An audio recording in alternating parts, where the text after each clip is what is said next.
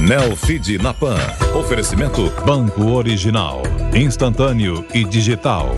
Abra a sua conta. Bom dia, equipe, ouvintes e espectadores da Jovem Pan. Na briga dos coworkings e escritórios compartilhados, a britânica IWG, dona de marcas como Regus e Spaces, tem conquistado os investidores. Desde o início de novembro, as ações da empresa na Bolsa de Londres saltaram 40%. Hoje, elas são cotadas a 352 libras esterlinas. Alguns fatores explicam esse ânimo dos investidores com a empresa.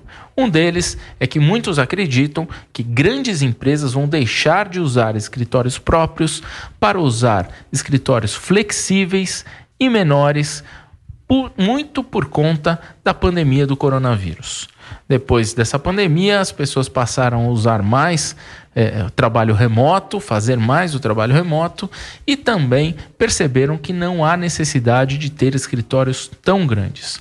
O segundo motivo, e esse também muito simbólico, é que a IWG assumiu prédios que antes eram usados pela WeWork, a sua principal rival. Isso aconteceu em Hong Kong e recentemente também aqui no Brasil, no bairro de Ipanema, no Rio de Janeiro, onde a empresa abriu um prédio inteiro com a marca Spaces, onde antes funcionava um WeWork.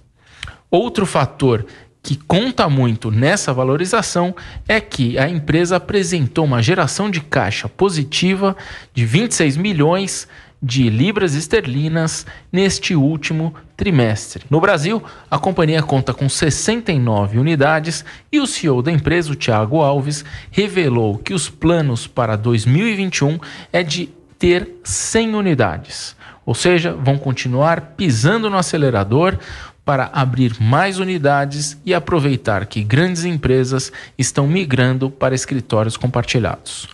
Bom, pessoal, é isso aí. Eu sou o Carlos Sambrana e esse é o Neofeed na Pan. Mais informações em neofeed.com.br e até mais.